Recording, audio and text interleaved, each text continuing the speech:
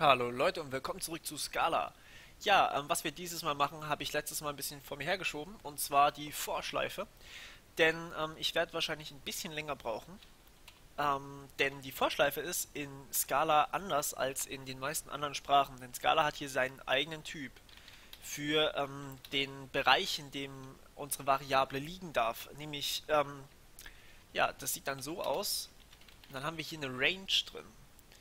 Und hier drin haben wir dann irgendwelche Statements, ähm, wie zum Beispiel x, hm, was weiß ich, äh, y, was irgendeine Variable ist, die wir außerhalb haben, ist gleich x minus 1 oder sowas. So, und ähm, diese Variable x,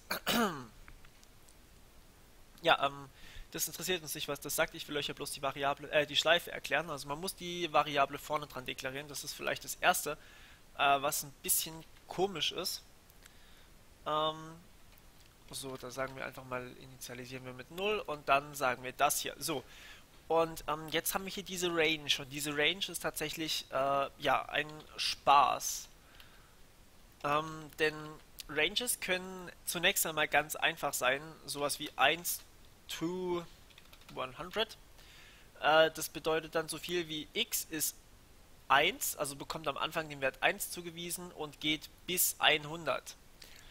Ähm, das wäre dann mal der erste Teil. Das bedeutet aber auch, dass x automatisch vergrößert wird. Ähm, also ähm, jedes Mal wird dann x natürlich um 1 vergrößert, wie wir das kennen, aber wir müssen es nicht explizit hinschreiben.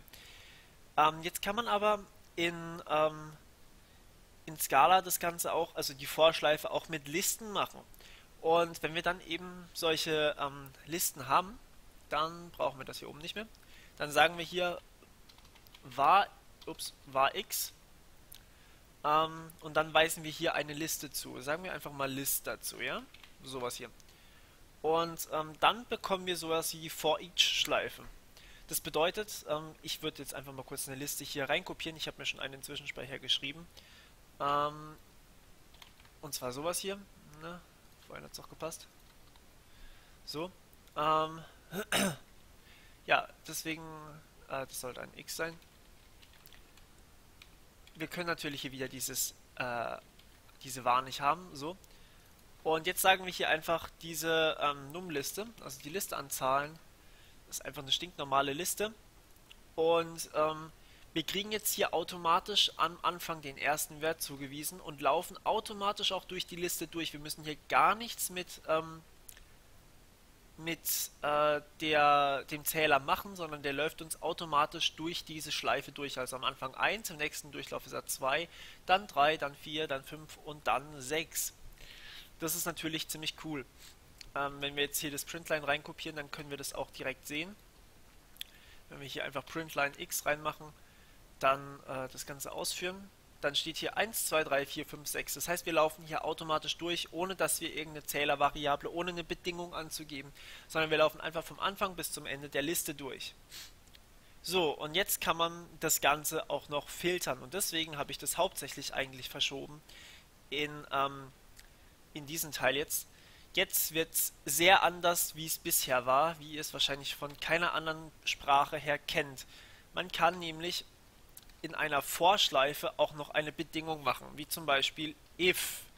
Ja, wir haben in einer Vordeklaration eine if-Bedingung, das ist korrekt. So, ähm, da braucht man keine Klammern. So, und jetzt sagen wir hier zum Beispiel ähm, sowas wie x ungleich 3, Komma wäre dann die nächste if äh, Semikolon wäre die nächste if-Bedingung, nicht Komma. Ähm, if äh, x kleiner 5. Ja, nicht Klammern, sondern ups, so wollte ich das haben. Ähm, ja, also haben wir jetzt hier drin zwei zusätzliche Bedingungen. x darf nicht 3 sein und x muss kleiner als 5 sein. Und wenn wir das jetzt hier ausführen, dann sehen wir hier, wir kriegen 1, 2 und 4. x gleich 3, also 3 wird hier nicht ausgegeben, weil x nicht 3 sein darf. Und 5 und 6 wird nicht ausgegeben, weil x kleiner als 5 sein muss, also auch nicht gleich 5. Das heißt 5 und 6 gehen da auch nicht rein. Und das ist wirklich eine sehr, sehr krasse Sache. Äh, das kenne ich tatsächlich von keiner anderen Sprache, außer von Scala. Ist eigentlich ziemlich cool, man muss sich nur dran gewöhnen und das auch wirklich dann benutzen. So, und jetzt kann man sogar noch ein Stückchen weitergehen und diese ähm, Vorschleife als Return-Wert quasi ähm, speichern. Äh, ja, jetzt wird es nochmal spaßig. Ich hoffe, ihr könnt mir folgen. Ähm, wir sagen einfach hier, ähm, ihr kennt das ja von meinen Java-Videos, da habe ich auch meine äh, Werte immer red genannt. Und zwar, ähm, wir sagen, ähm, diese Vorschleife hier, ich rücke das mal alles so ein, dass es einigermaßen passt. So, ähm, das hier machen wir mal weg hier. Diese Vorschleife hier, dies, diese Klammern hier gehören jetzt nicht dazu, ähm, hat, schreibt Werte in diesen Wert red und der ist noch nicht zugewiesen, ähm, denn wir wollen ja hier eine Liste draus machen und so die Liste zu erstellen ist deutlich einfacher als vorher irgendwas zu machen.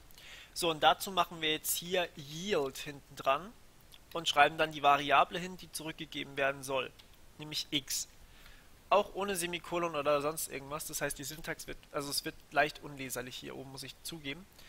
Ähm, also das bedeutet, wir schreiben in Return alle Werte von x, äh, von, ja, von x rein, deswegen yield x. Wir könnten auch hier irgendwelche Berechnungen machen und dann irgendeine andere Variable nehmen. Es muss nicht die Zählervariable sein. Und äh, dann gehen wir die Vorschleife durch, nämlich wir weisen x erstmal alle Elemente der Liste zu, aber er muss ungleich 3 sein und er muss äh, kleiner als 5 sein. So, und äh, dann können wir hier nochmal eine Vorschleife deklarieren. Zum Beispiel, also das ist jetzt natürlich nur ein äh, komisches Anwendungsbeispiel. Ähm, aber ihr findet da sicher einige coole Beispiele daran. So, äh, red. Und sagen dann einfach printline, ähm, nicht x, sondern y. So, und was jetzt passiert, wird euch wahrscheinlich erstaunen. Es passiert nämlich genau dasselbe.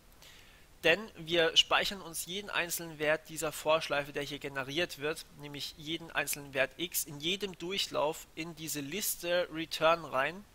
Und dann weisen wir diesem y wieder diese Werte aus dieser Return-Liste zu und geben die einfach aus. Hier kann man natürlich nochmal einen Yield draus machen, wenn man möchte. Das könnt ihr so handhaben, wie ihr wollt. Ja, und ich würde sagen, damit ist die Vorschleife eine der speziellsten Schleifen hier in Scala. Ähm, sehr mächtig und ziemlich cool, muss ich sagen. Also wirklich geil. Ja, ich hoffe, ihr habt äh, das alles verstanden und ihr konntet mir auch folgen und es hat euch auch Spaß gemacht. Ähm, ja, und wir hören uns dann beim nächsten Mal. Alles klar, bis dann, ciao, ciao.